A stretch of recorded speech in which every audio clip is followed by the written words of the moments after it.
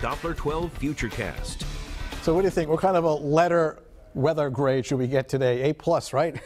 a plus, just gorgeous. Beautiful evening right now. Take a look at live pictures along the South Shore, Narragansett Town Beach with clear skies. Uh, still some people walking along the beach right now. They've, they have the light jackets now because it is getting a little cooler, but temperatures today just gorgeous. In Providence right now, getting ready for a real pretty sunset after topping out at 70 and breaking the record.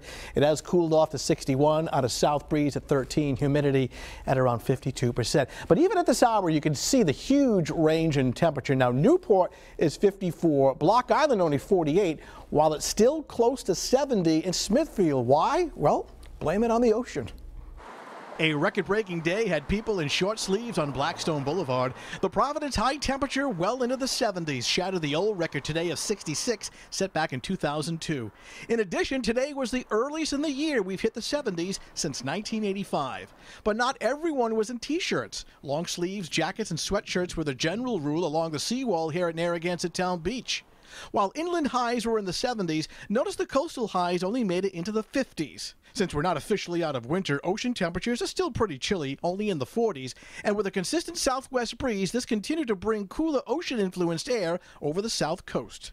But of course, water temperatures will continue to increase as we march towards spring and summer.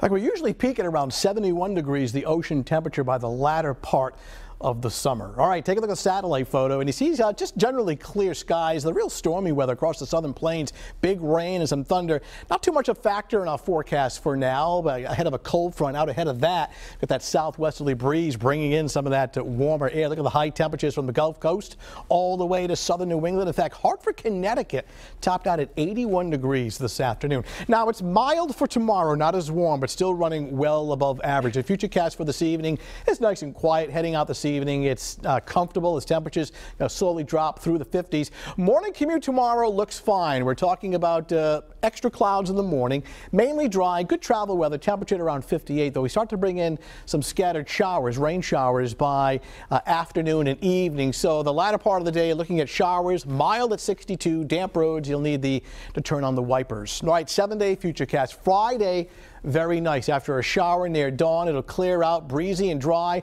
Not as warm, but boy, temperature still pretty nice at 59. Weekend still looks pretty good. A number of events going on on Saturday, including uh, St. Patrick's Day parades along the South Shore, places like Narragansett and Newport. It looks real nice. The parade in Newport starts, uh, kicks off at 11 a.m. 57, and throughout the day, it's comfortable, breezy, and dry with some sunshine. Certainly better weather for that parade compared to last year. And on Sunday, still looks pretty good at 57. We'll bring in in some cooler air, much cooler weather, and some rain by Monday into early Tuesday with temperatures in the upper 40s to lower 50s. So another warm day coming up for tomorrow, perhaps not the 70s and 80s, but easily in the 60s. I keep the umbrella on standby uh, second half of the day. Yeah, I think it was a flip-flop weather today for sure. It was so warm out. I just couldn't believe it. What's the average this time too? We're about 48, 49, so way above the average, oh, and, wow. and easily breaking the record of 66. Yeah. All right, Tony. Thanks so much. Coming up next.